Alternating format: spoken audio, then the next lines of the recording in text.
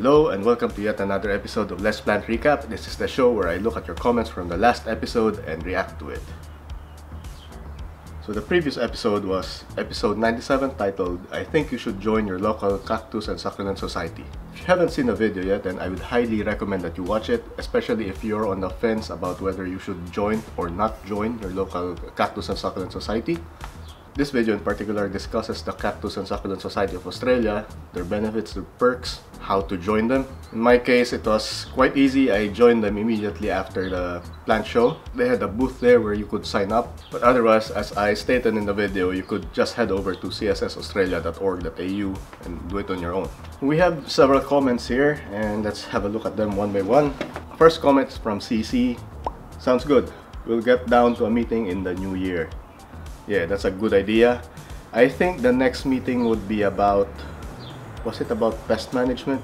I can't remember. I I've seen the newsletter. They they presented us with a list of upcoming topics but I can't remember what the next topic was.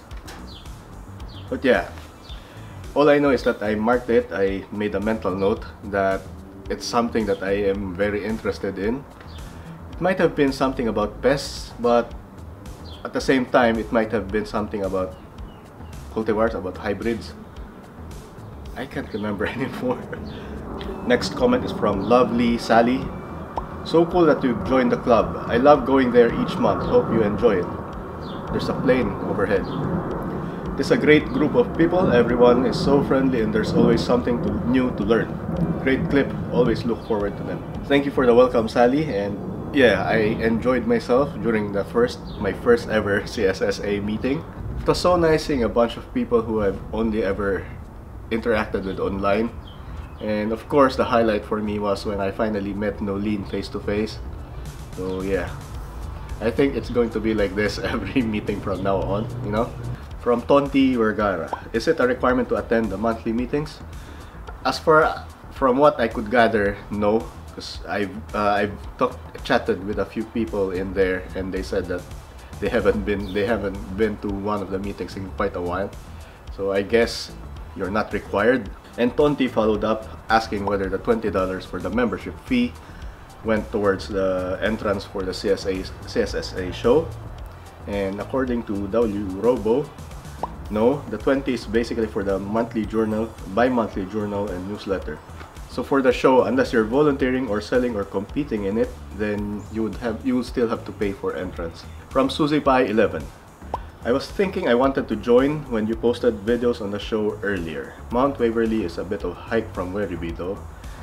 Yeah, like I said, I don't think that should be an excuse unless you really can't spare the time. In my case, uh, the commute, the drive was about one hour during normal traffic and that's if I bypass uh, the toll the toll roads. If I go through CityLink it would take me 15 minutes less about 45 minutes. That's under regular uh, traffic conditions. And I remember that later that night the drive home was just a bit over half an hour because there wasn't much traffic anymore and I took CityLink since you're from Werribee, that means that there's another 15-20 uh, minutes to that drive. But, but, yeah, I would say it's just another 10 minutes. So, it's not bad. But trust me, it's definitely worth it. It's definitely worth the drive. You should at least try it out for if you're going to join in January, then yeah, try it out. The next meeting would be the 4th Tuesday of January. And that's let me just check the calendar. That should be the 22nd of January. There's still quite a while before then so lots of time to prepare. From Rose Hussey Definitely joining up next year looks like so much fun and the endless possibilities of adding more plants to my garden is definitely another reason to join. Great video Chuck. Was really good to see more about what goes in the meetings. You did make me a little dizzy with the walk and talking serious at the end though. yeah, sorry for that. I was getting a bit restless because I was trying to recall what happened, trying to recount what happened that night. Yeah, I was so excited, so I don't know, overwhelmed. yeah, basically I was just restless. Yeah, sorry about that again. From Monolop. So it's basically a plant or succulent lover's dream. A lot of succulents for sale, a lot of succulent materials, a lot of people that love succulents, and a lot of amazing succulents to see. So it's basically everything succulent. Yeah, pretty much. You nailed it on the head. Another thing that's great about this is that the topics vary from meeting to meeting, so it's never the same thing. I'm not sure if the topics cycle every year. I imagine it would, maybe just with a bit of twist or additional information or updated information. But what do I know? It's my first time. From W Robo, not Onzuka. Thank you for confirming. I wasn't sure as well when I was just looking at the photo. I immediately thought Onzuka because of the white, because of the cover. But when I looked closely, well, the photo was small, but looking closely at the ribs, it looks like it had this uh, ridges and it doesn't look like the Onzuka that I showed at the show. So yeah, thank you for confirming my suspicions. From Anita. This has inspired me to look up Succulent and Cactus Society in my state, Queensland. Yes, you should definitely look it up. It's the same society, just a different set of members. Because of course, everyone can just go from one state to the other. It's going to be quite a commute. And if you're thinking of joining, you should definitely check it out. The next meeting would be on January, so yeah, you still got time to think about it. Yeah, you might be hearing that. It looks like it is showering now and I was planning to do a bit of work in the garden so yeah I might have to push it back later from Janet Ursel Gymnocalycium are high on my wish list also, primarily because I like having a varied collection and it is one of the few cacti that will thrive and flower in low light conditions. Oh. As for a society, I can't find an active one within range. My major, my nearest major city had one in 2006, but I can't find any more recent references to it. By the way, would you have recommendations for smaller echeveria that do not require full sun? So far, all I have, all I have is an Echeveria purpusorum, a couple of small morning beauties, because I managed to build a mother plant. Yeah, there's a lot of stuff to unpack in your comment, and I already responded to it, so let's have a look at my comment. First of all, you made it to the latest episode. Congrats! Yeah, uh, Janet was commenting on all of my, on almost all of my videos, I noticed that she was binging, she was binge watching the entire stretch of Let's Plant and she caught up finally. About your question, I find it that I find that it is hard to find an Echeveria that will not look good without enough light. With that said, I have an Echeveria pallida and Echeveria golden glow, a hybrid based on pallida, sitting close to the eaves and they do not seem to be stretching despite getting a lot less sunlight than the others. I could, yeah, here's what they look like. This is the Pallida and this is the Golden Glow.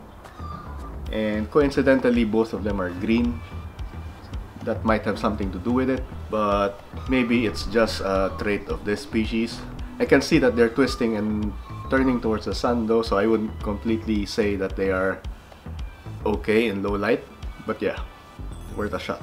And finally, from Chris Carmen, Hey Chuck, I recently repotted my Echeveria gibbiflora but after less than a week, the leaf gets soft.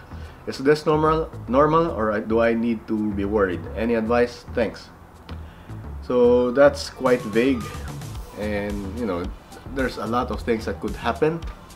So I think one of the things that you should check is if there are any yellowing of the leaves, not browning.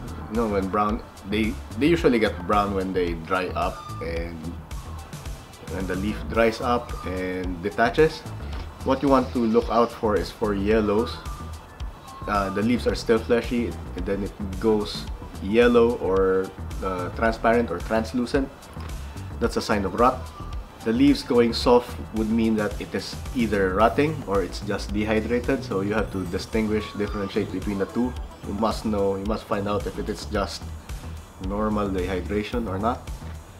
And if it's just dehydration then you're in luck you could just water it again so it would be so it could so it could get back the pressure in the leaves the hydrostatic pressure you know because it's just getting limp because it's not holding enough water but if it's rot it might be quite difficult. You would have to chop off the rotten bits and keep the healthy part. Hopefully it hasn't gone through to the core all the way to the tip. If it reaches the tip and you could see browning or darkening in the middle, then you're out of luck. It's already gone. But we're getting too far ahead of ourselves now. Basically, you could just check, you could uproot it. You said you repotted it recently. If you haven't been watering it too much or it, it didn't look rotting when around the time that you were repotting, then maybe it's just dehydrated. So yeah, just observe. I'm looking at my Facebook version of this video. I see a lot of views, 225, and a lot of reactions, 27 reactions. But unfortunately, no comments. Guys, where are your comments? oh well, maybe next time. And now let's discuss a preview of the next episode. So if you've been following my random postings on Facebook and on the community tab on YouTube, I've been posting a bit about our weather forecast, how it's getting too hot now. And it's expected since we're now in, at the start of summer in the southern hemisphere. And that's the topic of the next episode. In the next episode, I'm going to ask and answer the question of how much light is enough light for succulents.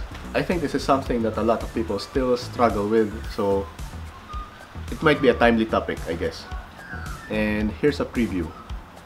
Let's take a look at this spot next. So the plants on this spot seem to be oriented properly, or at least they're facing directly upwards. And looking at all of the flowers on these sedums, it looks like they are all upright, which tells me that they are getting enough sun. They do not need to reorient themselves to find a lot more exposure. So this spot right here is getting enough sun exposure. And that's it for this episode of Recap.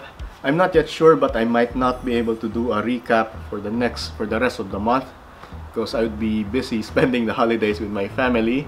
At best, I might just do a very simplistic recap, just speak on my phone, no editing, very minimal editing I guess. I think that should still work. I hope you don't mind though. And yeah, enjoy your holidays as well. I still have a bunch of uh, Let's Plant episodes that are already filmed and I'm about to film this weekend and that might cover the entire December but that entirely depends on whether or not I get the time to edit all of them because there's a lot of raw footage so I'll keep you posted. I'll let you know if I need more time or if I, I should just make a break since it's the holidays anyway. I might just spend the time with the family. So just stay tuned for announcements and make sure you're subscribed or following me on my social media accounts. That way you know. That way you would see when I release that announcement. But in any case, you'll find out first in the community tab here on YouTube. And I'll see you in the next episode. Bye.